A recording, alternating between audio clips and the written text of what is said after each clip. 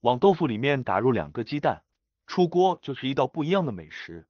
我们把豆腐放到一个大一点的碗中，然后加入一勺食用盐，再倒入大量的清水盖过豆腐。我们用食盐把豆腐给它浸泡一下，去一下豆腥味，大概浸泡二十分钟左右。接下来我们要准备一些大蒜，给它切成片，片切好以后再改刀剁成蒜末，蒜末我们一定要剁细一些。全部切好以后倒入碗中备用。再准备一块生姜，也把它切成薄片，再改刀切成姜丝，最后把它切成姜末就可以了。切好以后倒入碗中备用。准备一把小葱，把葱叶和葱白给它分开切。葱白切好以后倒入碗中备用，剩下来的葱叶把它切成葱花，切好以后装入碗中备用。有条件的再准备半个胡萝卜，把胡萝卜的外皮切掉以后，再改刀把它切成薄片。我们这里要切薄一点，不要切的太厚了。片切好以后再改刀切成丝，最后再把它切成胡萝卜末。胡萝卜全部切好以后放入碗中备用。准备一块瘦肉，把它切成薄片。瘦肉我们一定要切薄一点，不要切的太厚。片切好以后，再改刀切成肉丝，最后再切成肉末，全部切好以后也装入碗中备用。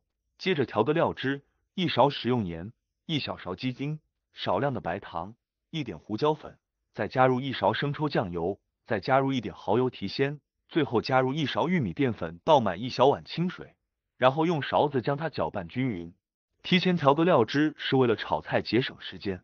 搅拌均匀以后，先放一旁备用。这个时候，我们的豆腐也浸泡好了。很多人都是把豆腐焯一下水，其实那样是错误的。然后放到另外一个大碗里面。接着，我们准备两个鸡蛋打入豆腐里面，然后戴上一次性的手套给它抓拌一下。我们要把鸡蛋和豆腐融合在一起，所以这里我们要多抓拌一会，一定要把鸡蛋和豆腐抓拌细腻一点。